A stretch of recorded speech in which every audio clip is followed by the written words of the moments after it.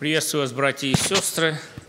Слава Господу за то, что милость Его обновилась к нам и в это утро, за то, что каждому из нас Он дал здоровье, желание и возможность прийти в дом молитвы для того, чтобы мы еще раз могли иметь общение друг с другом а и порадоваться тому, что Бог хочет нам сказать и в этом служении. Помолимся Господу.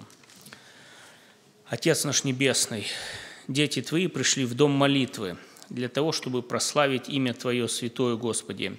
Мы благодарны Тебе за все Твои милости к нам, и в этот воскресный день мы Тебя благодарим за Сына Твоего, которого Ты послал для того, чтобы Он умер за каждого из нас, для того, чтобы мы имели общение с Тобою, Господи, для того, чтобы мы имели жизнь вечную. Мы просим Твоего благословения на это служение, Господи, чтобы Ты Духом Твоим Святым присутствовал вместе с нами, чтобы Ты говорил к нам, утешал, обличал и наставлял нас, Господи. Касайся также сердца тех, которые еще не имеют мира с Тобой, для того, чтобы э, Дух Твой Святой мог проговорить к ним, Господи, для того, чтобы и они в этом служении могли найти мир, покой, обрести спасение. Особенно благослови Слово Твое, которое будет возвещаться с этого святого места, Господи. Приготовь сердца к наши, наши к слушанию, и пребывай с нами в этом общении. Благодарим Тебя за это время благоприятное, Отца, Сына и Святого Духа. Аминь.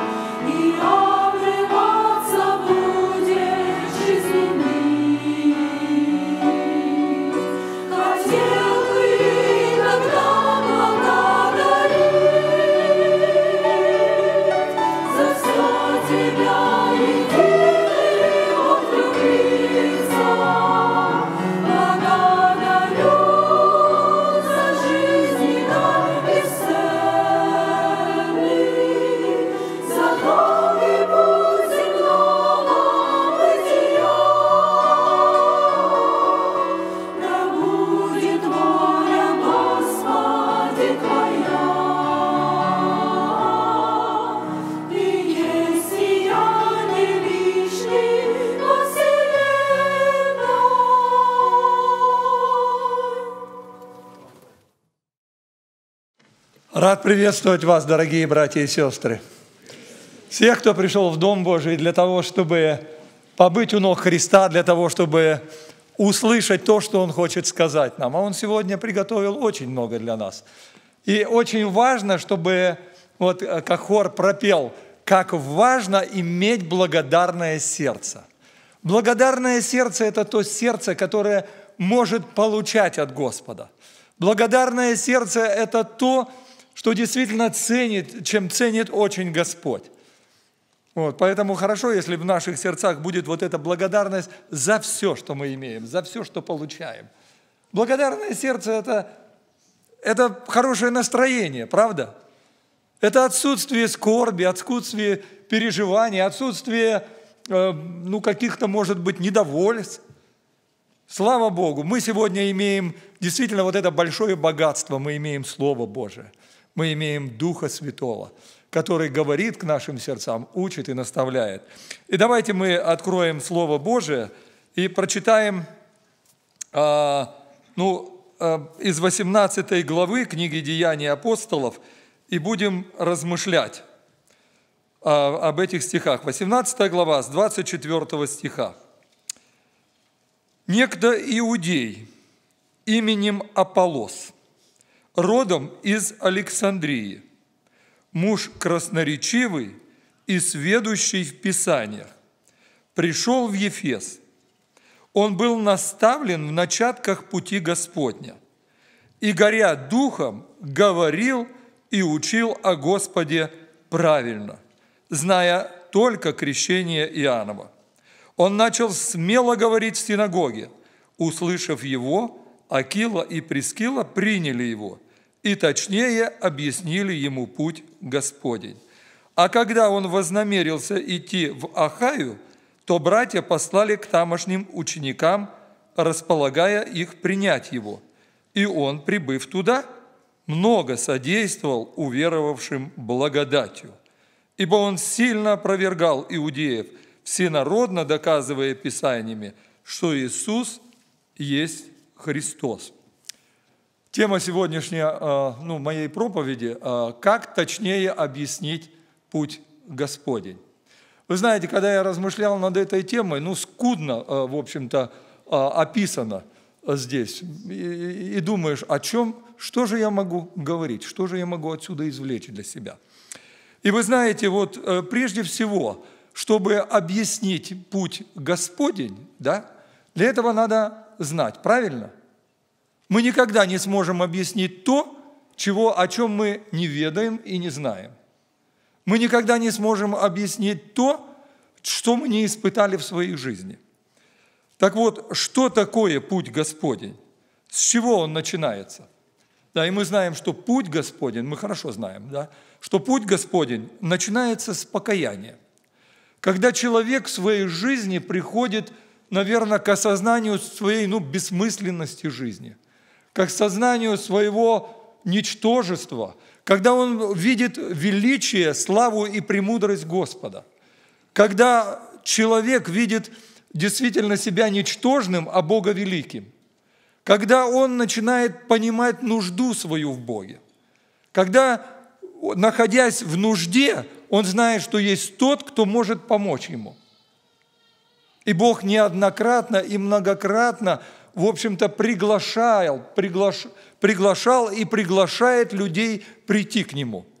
В книге пророка Исаи, в книге пророка Амоса мы читаем в пятой главе, в четвертом стихе следующие слова. Еще Амос говорил, эм, Бог как бы через Амоса говорил, «Взыщите меня, и будете живы». «Преклоните ухо ваше, говорит Исаия в 55 главе 3 стих, «и придите ко мне, послушайте, и жива будет душа ваша, и дам вам завет вечный, неизменные милости, обещанные Давиду». А э, Иисус Христос, Матфей пишет, слова Иисуса Христа, который говорит, «Придите ко мне, все труждающиеся и обремененные, и я успокою вас». И Бог приглашает к тому, чтобы вот мы могли прийти, каждый мог прийти, да, и начать этот путь с Ним, к тому, чтобы потому что Слово Божие говорит, нет другого имени под небом, данного человеком, которым надлежало бы нам спастись. Мир сегодня предлагает, и в то время, когда жил Аполлос, мир, мир предлагал множество богов, множество путей спасения. Да? Но есть один путь. Об этом говорили апостолы, об этом говорил Павел. Это путь прихода к Иисусу Христу. Путь Господень. Что такое путь Господень? Путь Господень – это путь полного послушания и смирения. Филиппийцам мы читаем о нашем Господе Иисусе Христе. Он смирил себя, быв послушным даже до смерти и смерти крестной. Он был послушен. Вот этот путь, путь следования за Господом, путь следования по Его пути. Это путь послушания, путь смирения. Апостол Петр, Петр в своем послании говорит, смиритесь под крепкую руку Божию, и да вознесет вас в свое время. Вот это путь Господень. Путь Господень – это путь святости. Э, апостол Павел говорит в 6 главе, в 22 стихе, он говорит, «Но ныне, когда вы освободились от греха и стали рабами Богу, плод ваш есть святость, а конец – жизнь вечная». Это путь Господень. Путь Господень – это наша жизнь святая. Апостол Павел говорит – в другом месте, в послании к римлянам, он говорит, что а, путь Господень – это жизнь по духу, жизнь, в которой прославляется Господь. А, в послании к римлянам мы читаем а, такие слова. «Но вы не по плоти живете, а по духу, если только Дух Божий живет в вас. Если что кто Духа Христова не имеет, тот и не его». Апостол Павел говорит, что мы имеем огромное, большое богатство. Мы имеем Бога внутри нас. Мы имеем Духа Святого. В другом послании, в послании Коринфянам, он говорит, «Не знаете ли, что тела ваши – суть храм живущего в вас Святого Духа, которого вы имеете от Бога? И вы не свои, ибо вы куплены дорогою ценою».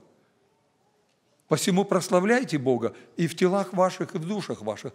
Вот это путь Господень, жизнь святости, жизнь послушания, жизнь, когда, когда наша жизнь прославляет Его. Потому что мы имеем Духа Божия. И этот Дух дает нам победу во всех обстоятельствах жизни. Этот Дух дает нам победу над грехом. Этот Дух дает нам победу над плотью. Жизнь в Нем – и апостол Павел, э, вот э, он, он учил всему этому. Во времена, когда жили Акила и Прескила, они не имели Нового Завета. А они встретились с апостолом, э, вернее, в 49 году император Клавдий дал повеление, чтобы все иудеи удалились из Рима. И Акила и Прескила написано, что они удалились и пришли в Коринф. Там, в Коринфе, они были иудеями, это были иудеи, они занимались деланием палаток, и там они встретили апостола Павла. У них было одно и то же ремесло, они занимались, и вот они пригласили апостола Павла, и вместе с ним они делали эту работу. И когда делали эту работу, апостол Павел, работая с ними, он вкладывал все, все свое желание для того, чтобы научить Акилу и Прескилу этому, путю Господь, этому пути Господню.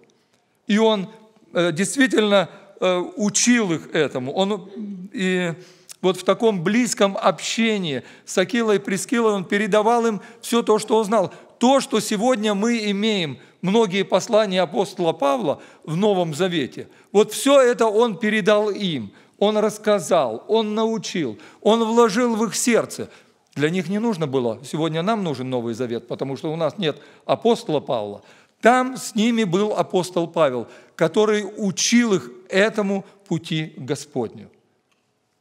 Сегодня у нас есть Дух Святой, сегодня у нас есть Слово Божие, которое учит и научает нас этому пути Господнему – и они учились и приняли у апостола Павла. И они приняли у апостола Павла не только вот эти знания пути Господни, то, что они могли передать, но и желание передать вот эти знания. И мы знаем, что там из Коринфа они отправились вместе с апостолом Павлом. Э, апостол Павел э, отправился в Сирию, и они вместе с ним. Но дойдя до Ефеса, они остановились там. Апостол Павел оставил там Акилу и Прескилу. В их сердце, почему они отправились из Коринфа? Их сердце горело желанием то, что они получили у Павла, передать другим людям. Они хотели это сделать, и мы знаем, что они остановились в Ефесе и делали это. Именно там, вот э, первое, что я говорю, о том, что нам необходимо знать путь Господень для того, чтобы точнее научить кого-то. Нам самим нужно знать это. Второе, нам надо иметь желание передать. Это то, что было у Акилы и Прескилы. Это то, что они, они действительно желали. И именно там, в Ефесе, они встретили Аполлоса, человека, который горел, вот дух которого горел рассказать о Господе все, что он знает, все, что он получил, все, что он имеет, отдать другим – его дух горел, они увидели в нем человека, который способен будет не только, ну, если поправить его, вот потому что написано, что он знал э, только Иоанново крещение, учил верно о Господе, и они решили поправить его. В чем-то что-то его не доставало ему. И они решили поправить его и пригласили его к себе. Они пригласили его к себе для того, чтобы научить. И так же, вот так же, как они были с апостолом Павлом. Но там они были учениками его. Там они учились у апостола Павла. Здесь они, как ученики апостола Павла, решили передать все свои знания Аполосу, решили на, э, научить его и подсказать ему то, что ему не хватало. И они это делали. Они видели в нем ну, большую возможность. Они видели, что если помочь этому человеку увидеть, ну, может быть, где-то что-то поправить, увидеть те недостатки, которые есть, он будет хорошим проповедником, он будет помощью, он будет благословением для многих людей, которые впоследствии ну, тоже могут стать христианами. И они видели вот это ревностное желание его поделиться с окружающими тем, что он знает. Поэтому они тесном общении с, а, с Аполосом, в этой домашней обстановке учили его. А апостол, вернее, Аполос знал, написано, только крещение Иоаннова. Что же, в чем же, что же ему не доставало? Вы знаете, вот если мы посмотрим, чему же учил Иоанн?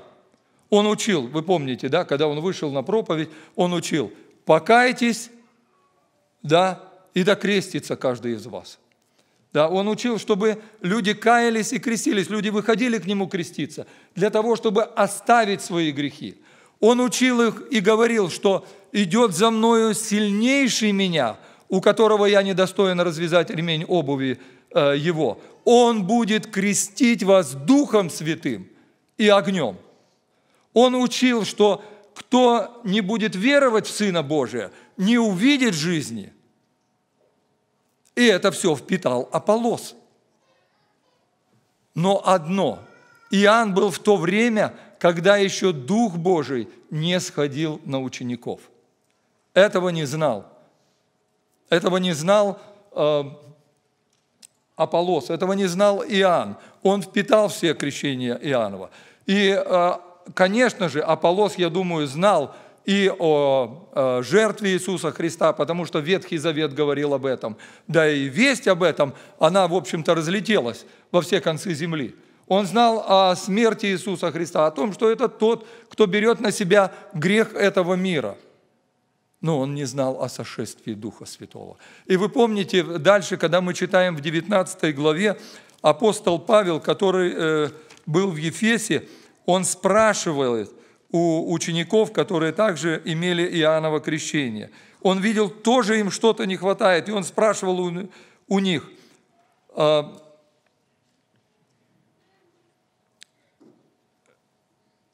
приняли ли вы Святого Духа у веров? Они говорят, мы не слыхали о таком. Это не значит, что они не слыхали вообще о Духе Святом, потому что, вы помните, Иоанн э, учил этому – Они не слыхали, что он пришел. Я думаю, этого не знал и Аполлос. И я думаю, тогда, когда они объяснили ему, точнее, Акила и Прескила, точнее, объяснили путь Господень, они, возможно, его и крестили, об этом не сказано. И он получил вот этого Духа Божия. И написано, что э, Павел вот этих учеников тоже крестил. Крестил э, в Иисуса Христа и возложил руки, и они получили Духа Святого. Не имея Духа Святого, чего-то вот, когда мы смотрим на людей, которые не имеют Духа Святого, чего-то не достает им. Что-то не хватает. Это то, что видели Акила и Прескила в Аполосе. И то, что они решили поправить, восполнить и научить его. Третье, э, кроме того, что э, мы должны иметь желание или передать вот эту истину для тем, кто, может быть, не знает ее, или тем, кто, может быть, недостаточно знает, у кого может быть неправильное понятие, мы должны не только иметь желание, но и люди, которых мы стараемся научить истинам Слова Божьего, они должны желать принять этого. А, дело в том, что Аполлос, он был родом из Александрии. Александрия – это город, находящийся а, ну, на берегу а, Средиземного моря. Это был северо-запад от устья Нила в Африке. Это был большой, крупный город, примерно с численностью населения, ну, наверное, больше 600 тысяч. Это был большой Э, ну, не просто культурный, образовательный центр. Там была огромная библиотека э, в, 600, ну, в 700 тысяч книг. Это был э, центр, куда различные философы из Древнего Рима, из Греции приезжали для того, чтобы пополнить свои знания. И в этом городе большинство, ну вернее не большинство, а практически из пяти районов два района было э, иудеев. Там же э, впоследствии образовалась христианская церковь, которую по преданию э, образовал, ну, основателем которой был апостол Марк. И вот в этом же городе, в Александрии, был сделан перевод – к этому времени уже существовал перевод 70 толковников. То есть перевод с еврейского Ветхого Завета на греческий, что было хорошим подспорьем как для Аполлоса, так и для распространения а, Евангелия во всем мире. Вообще это был крупный центр между, торговый центр между Западом и Востоком. И вот и там же, между прочим, было, а, ну, оттуда пришли такие учителя, как Ориген и э, Климент – Александрийский. И в этом городе вот он славился тем, что в нем было развито ну, такое аллегорическое как бы толкование. А когда они читали Ветхий Завет, они видели не только прямой смысл, который э, наполнял вот э, Ветхий Завет, но они видели, что это прообраз чего-то, какой-то второй смысл. И вот э, Аполлос, который был из этого города, который был образованным, о нем сказано, что он был муж красноречивый, то есть человек, способный доходчиво, точно и ярко, можно сказать, представить и э, доказать истину. И этот человек пришел и встретился с Акилой Прескилой. И он был способен учиться. Вообще всякий смиренный человек, он всегда может научиться от, от любого человека чему-либо. Всегда может найти. Э, чему можно научиться. И вот Аполлос был одним из таковых. Кто такие Акила и Прескила? Это были простые ремесленники. Это были люди, которые, э, в общем-то, занимались ремеслом. Они не были ну, какими-то общественными деятелями. Они не были какими-то знатными фигурами. Но они э, готовы были учить. А Аполлос, хотя он понимал свое превосходство, это был муж красноречивый, муж, который образованный, интеллектуально развитый. И он не посчитал для себя как бы низостью учиться у этих ремесленников. И мы видим, что они вот в таком тесном общении, Акила и Прескила, они тоже были, ну, знаете, это люди были открытые сердцем. Это были люди, готовые учить, готовы передавать знания, и они передавали их очень аккуратно и осторожно. Они не угасили дух Аполлоса. Можно, знаете, ну, высказывать свое э, превозношение, знание, я лучше знаю, вот ты не так знаешь. Да? Этого не делали Акила и Прескила. Они аккуратненько передавали знания Аполлосу с тем, чтобы он действительно мог принять, он мог действительно мог научиться. Это были люди тоже смиренные и кроткие. Это были люди, желающие передать весть Евангелия. То, чему они научились от апостола Павла. Это было то ученичество, о котором апостол Павел впоследствии написал Тимофею. И говоря о том, что ты слышал от меня при многих свидетелях, то передай верным людям, которые были бы способны научить и других. Это то, что сделали Акила и Прескила – и апостол, э, вернее, Аполос, он внял этому, он готов был слушать и готов был внимать этому. И мы видим, что он воспринял от них не только весть Евангелия, не только то, э, что они сделали для него, поправили его, да, точнее научили. Они, он не только принял это, но и он пожелал идти. И мы видим, что написано, что после того, как они объяснили ему этот путь Господень, написано, что он пожелал идти в Ахаю. Ахаю, то есть ну, там, где располагался Каринф. То из, э, из города, которого, в общем-то, уехали а, апостол Павел, уехали Акила и Прескила. Они знали, что там есть церковь, молодая церковь, и она нуждается в поддержке, она нуждается в помощи. И написано, что они Э, когда они, он вознамерился идти в Ахадию, то братья послали к тамошним ученикам, располагая их принять его. Они написали письмо. Там уже была церковь, где, в Ефесе, где были э, Акила и Прескила. И эти братья написали письмо к братьям в Коринф, для того, чтобы они могли принять его, для того, чтобы он так мог содействовать братьям, в Коринфе, укрепить. Они понимали, что этот красноречивый муж, муж с горящим сердцем, любящий Бога, желающий служить Его, он может помочь этой церкви молодой. Она нуждалась в этом, потому что там ну, не было, может быть, таких, как Прескила, Акила, Павел. И написано, и прибыв, он, прибыв туда, много содействовал уверовавшим благодатью – ибо он сильно опровергал иудеев всенародно, доказывая Писаниями, что Иисус есть Христос. Благодать, которую он получил, он принес туда. И он способствовал этому. То богатство, которое он получил через э, общение с Акилой и Прескилой, его сердце горело желанием пойти дальше, понести весть, действительно рассказать о Господе то, что он получил. И он сделал это. Впоследствии апостол Павел напишет, и он скажет, я насадил, Аполос поливал, но все взрастил Бог. Он понимал, что Дух Святой – это тот, который действительно взращивает. Этим видением жили Акила и Прескила. Этим видением жил апостол Павел. И этим же видением жил Аполлос. Его сердце горело. Он жил так, как его научили. Он шел этим путем Господним. Как хорошо, если мы в своей жизни будем подобными учениками, у которых горит сердце с желанием служить Богу.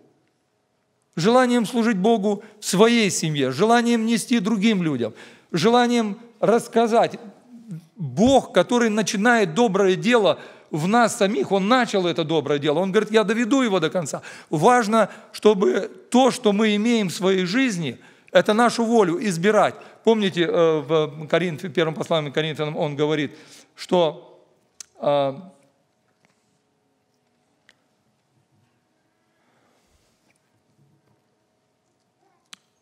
Не знаете ли, что вы храм Святого, э, вы храм Духа, живущего в вас, Святого Духа, и вы не свои? Вот очень важно, что мы понимали, что мы куплены дорогой ценой, что сегодня мы не свои. Сегодня мы будем делать это для Господа. Он купил нас. Сегодня наша воля должна быть подчинена Ему. Я хочу это делать. Вы знаете, Бог радуется, когда наше сердце горит. Бог радуется, когда мы что-то делаем для Него. Может быть, одному человеку мы делаем, но это делаем постоянно. Вы помните, когда однажды Андрей, он такой незаметный, о нем не, как бы много э, ну, не видим его в служении или где-то, да? но Андрей нашел Петра, который стал апостолом, который стал столпом церкви. Он нашел Петра, он привел его к Господу. Акила и Прескила тоже привели Аполлоса к Господу. Знаете, благослови нас, Господь, чтобы наше сердце горело этим желанием рассказать кому-то, научить, передать эту весть. Идти самим путем Господним, чтобы наша жизнь, наши уста, вся наша внешность, наши слова, она прославляла Господа. Чтобы наше сердце горело для Него. Да будет Он прославлен и благословен в нашей жизни. Чтобы мы повиновались Духу, которого мы имеем внутри, эту личность и силу, которая может помочь нам. Важно нам иметь это желание. Да благословит нас в этом Господь. Помолимся Ему. Аминь.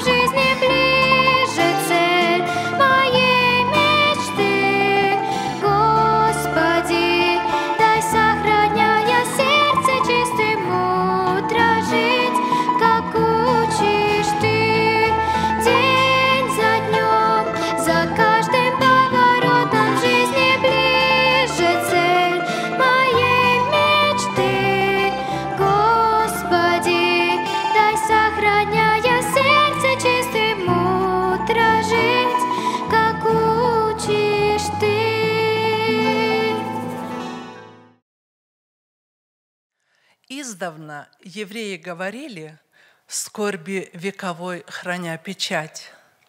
Следующий год в Иерусалиме будем мы торжественно встречать. Словно шторм развеял нас по свету, но и в дальних уголках земли вспоминаем, как пароль заветный «Следующий год Иерусалим». Странники, пришельцы, пилигримы, так и мы живем с мечтой в сердцах о небесном Иерусалиме в радостном присутствии Отца. Сбудется надежда ожидания, отгремит последняя гроза.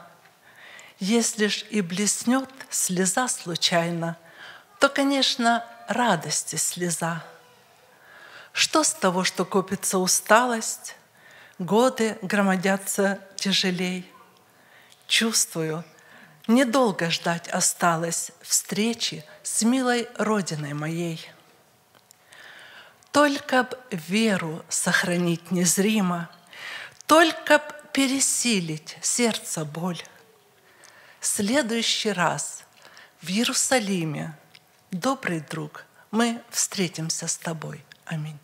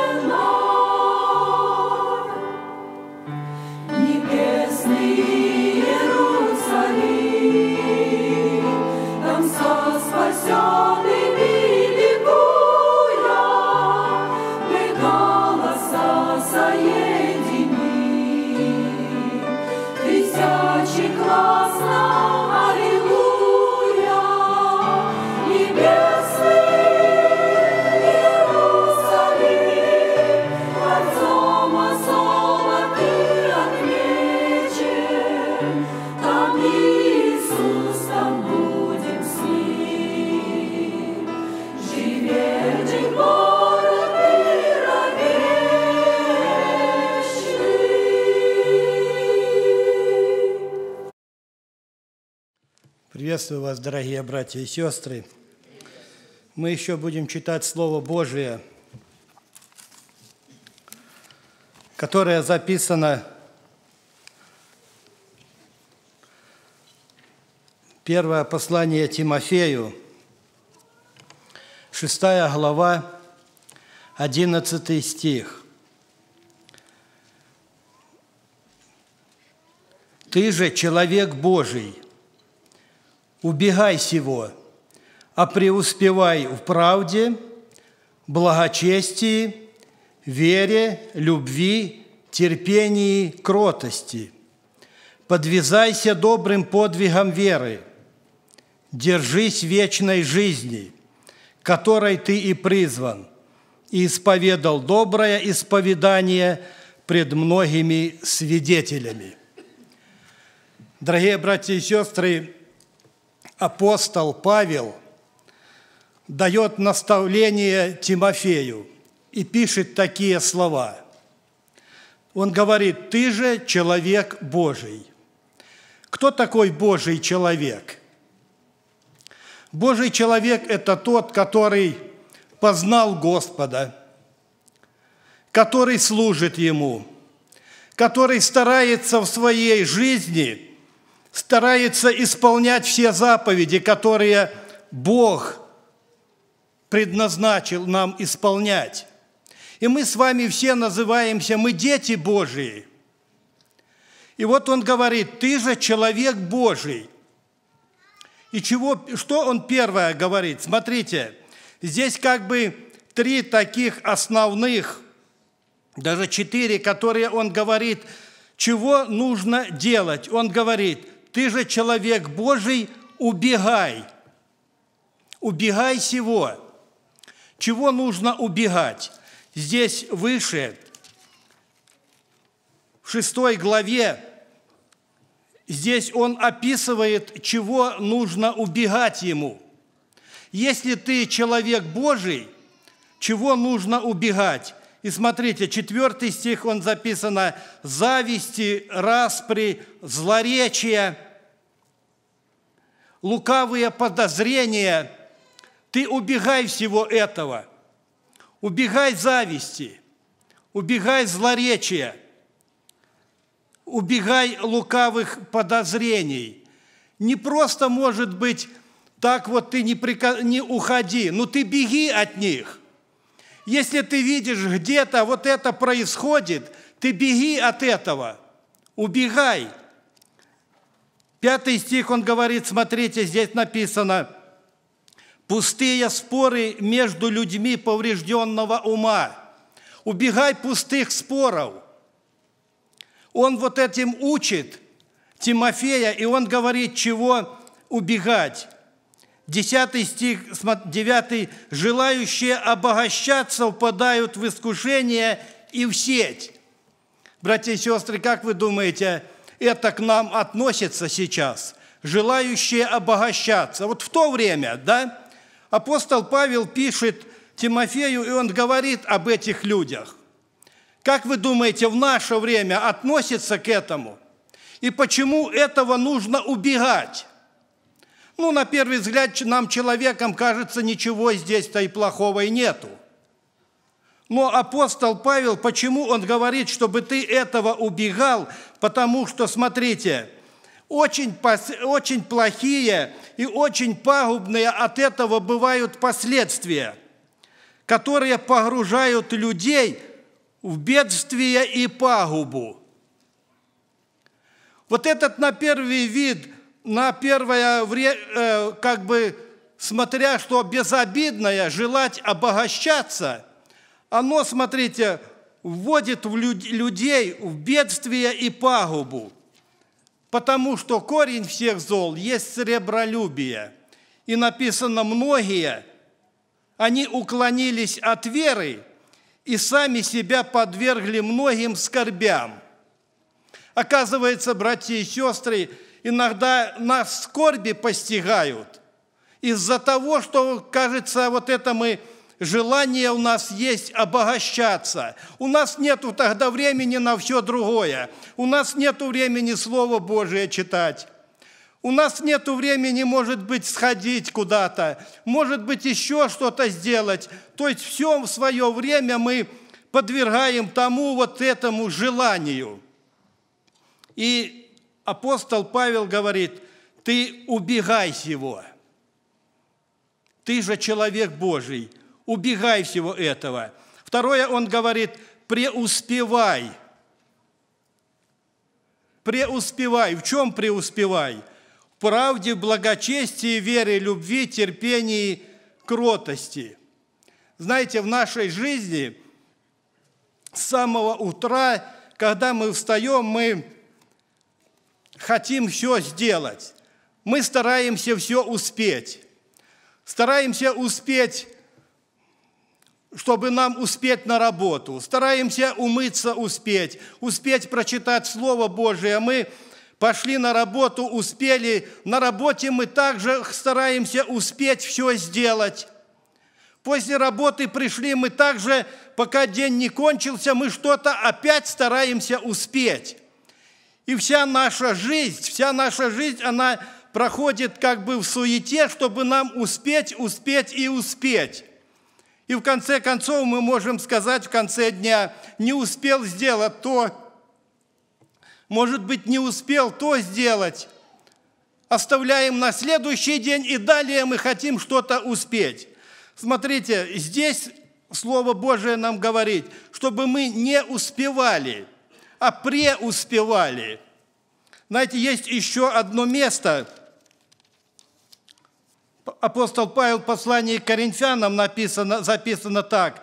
«Итак, братья мои возлюбленные, будьте тверды, непоколебимы, непоколебимы, всегда преуспевайте в деле Господнем, зная, что труд ваш нечтетен пред Господом».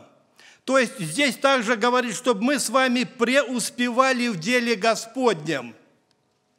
В деле Господнем, братья и сестры – Э, мало того, чтобы только успеть.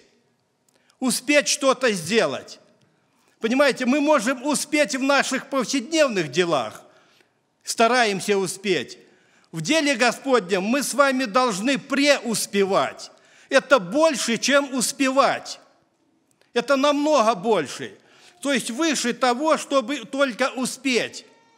И здесь мы прочитали, чтобы мы с вами преуспевали в правде – то есть наша жизнь, она должна преуспевать, чтобы нам совершать вот эту правду. В благочестии, в вере, любви, терпении, кротости. Что такое преуспевать в любви? Знаете, мы с вами, каждый, у нас есть семьи, у нас есть дети, у нас есть жена, у кого-то муж, и мы с вами любим. Но преуспеть в любви, вот к этим, к близким, это хорошо. Но преуспеть в любви, когда мы находимся вот в служении среди братьев, сестер, может быть, мы просто знаем кого-то, и в этом нам Слово Божие говорит, чтобы мы преуспевали в любви. Не просто, может быть, когда мы подходим поприветствовались и ушли, и больше мы не знаем об этом человеке. Но, но есть место, другое место, которое записано, чтобы мы могли относиться к этому своей любовью, могли покрывать, чтобы мы были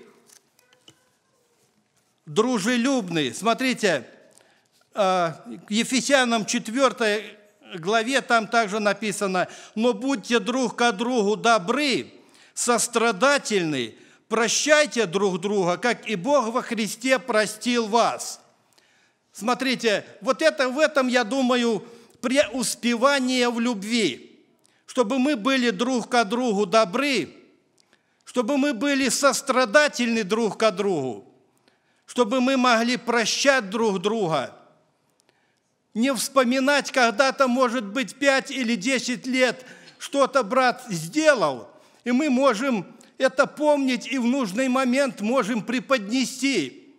А вот когда-то что-то он, да, я его люблю, я приветствую с ним, но когда-то я в нужный момент я могу преподнести, что он когда-то что-то сделал. В сердце вот это осталось. Такой человек, он, значит, не простил, он не забыл, он не покрыл, но он вспомнит, когда нужно. Слово Божие говорит, смотрите, сострадательный, прощайте друг друга, как и Бог во Христе простил нас. Ты же человек Божий. И прежде, братья и сестры, чтобы мы могли преуспевать, нам нужно также, нам э, Слово Божие говорит, чтобы мы что-то могли оставить, отложить. Тогда только мы будем преуспевать. Тогда мы будем преуспевать во всех вот этих качествах. Смотрите, в Ефесянам 4 глава, 22 стих написано, чтобы нам отложить прежний образ жизни ветхого человека, исливающего в обольстительных похотях, а обновиться духом ума вашего и облечь, облечься в нового человека, созданного по Богу в праведности и святости истинной. Посему, отвергнув ложь, говорите истину каждый ближнему своему, потому что мы члены друг друга. Никакое гнилое слово да не исходит из уст ваших, а только доброе для назидания в вере, в вере дабы оно доставляло благодать слушающим. Братья и сестры, смотрите, если наше слово, оно не доставляет благодать слушающим, это очень плохо.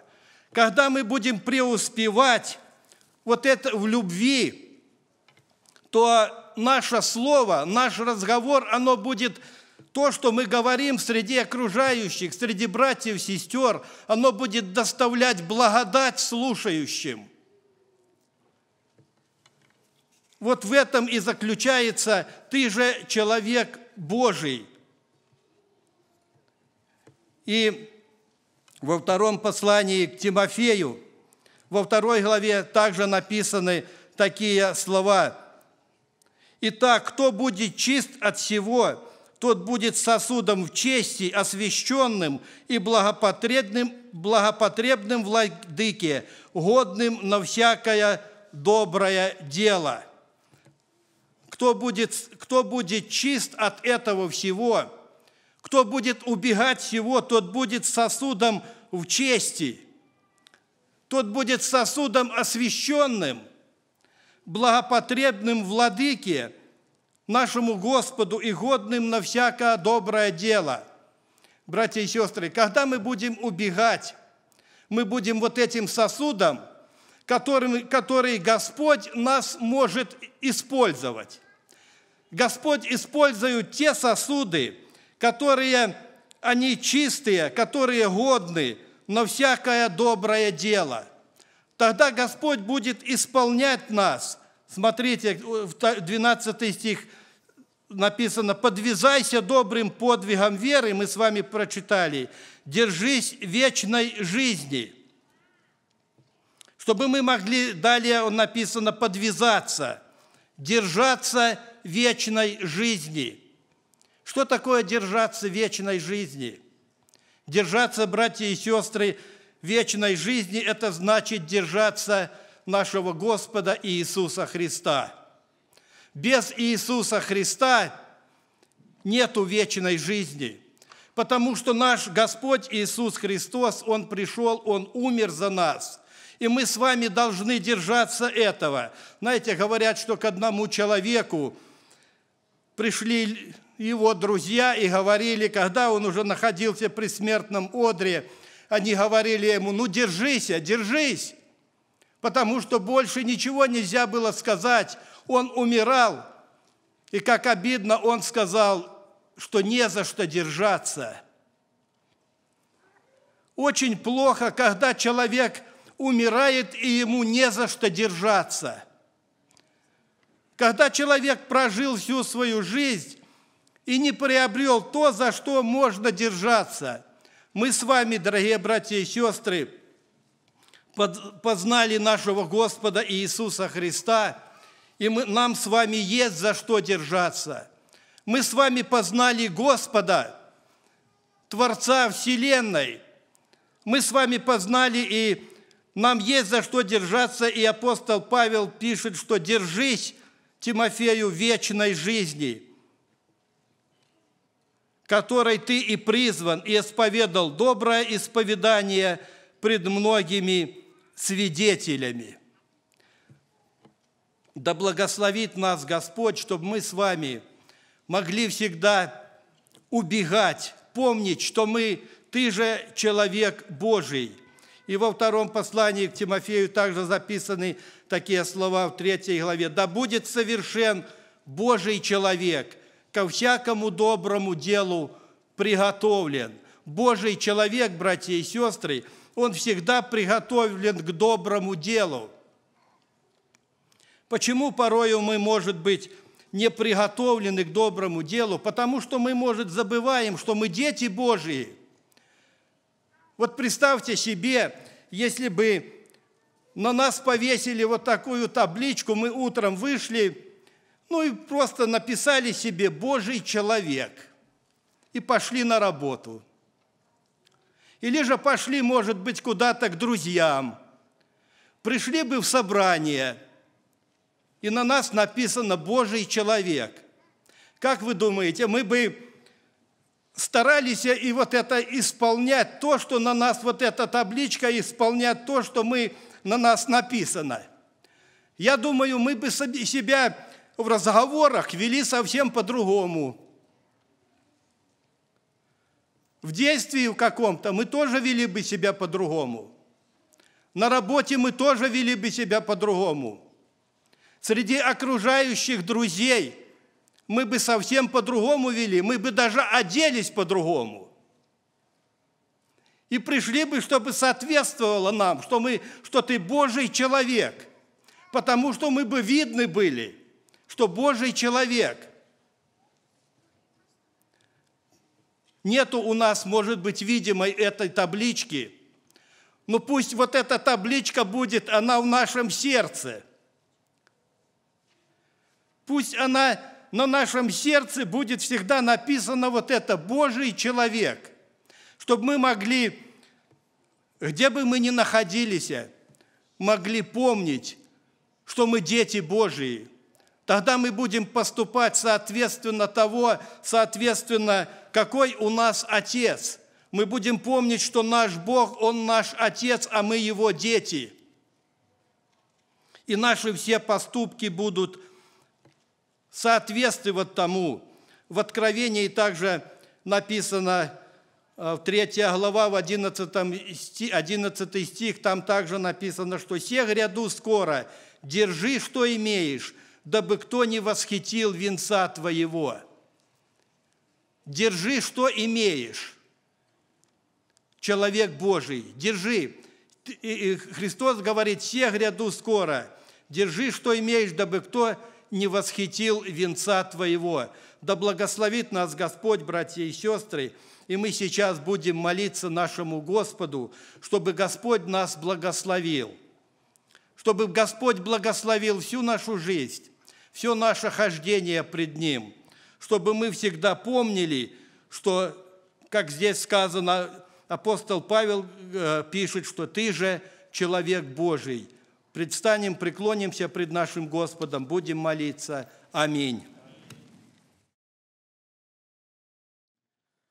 Братья и сестры, мы сегодня с вами слышали а, Слово Божие о точности, том, что такое. Думаю, каждому из нас нравятся люди точные, которые точно и ясно могут выражать мысли, которые в точности исполняют то, что обещали – и так далее. И сегодня как раз а, Господь говорил к нам об этом, и знаете, слушая, слушая Слово Божие, действительно, наверное, многие из нас путем вот этим прошли, путем, путем Аполлоса, начатки учения, когда мы вот только пришли к Богу, горели духом, а, и, и действительно в этом все было правильно, как и Писание говорило, что он, зная только начатки, но горя духом – это действительно важная составляющая, и он учил правильно. Но вот, вот, вот фраза «точнее путь Господен». Я когда сидел и размышлял, слушая то, что говорилось, думаю, что это за более точный путь Господень? Мне кажется, а, э, это когда мы становимся ближе к Богу, и тропинка, по которой мы идем за Господом, она, она сужается, она не шире становится. Знаете, иногда люди изучают Писание или пытаются вникать как-то в контекст исторический, все эти вещи для того, чтобы путь этот расширить чтобы показать, может быть, то, что раньше говорилось или сейчас говорится, оно не совсем точно. Есть другое понимание, когда можно понимать все более, так сказать, обширно и свободно, но, но когда мы действительно горим духом и пытаемся для себя более точнее уяснить путь Господен, то мы вдруг понимаем, что тот, та дорога, по которой мы должны следовать за Господом, она уже становится, она не шире. И в этом тоже есть определенное благословение. И также нам второй брат говорил о том, что ты человек Божий. И как раз, когда ты человек Божий, ты должен идти по вот этой узкой тропинке, ты должен стремиться к тому, чтобы более точнее показать того, что ты являешься человеком Божиим. Благословит Господь нас действительно уяснить эти истины. Давайте мы встанем и помолимся.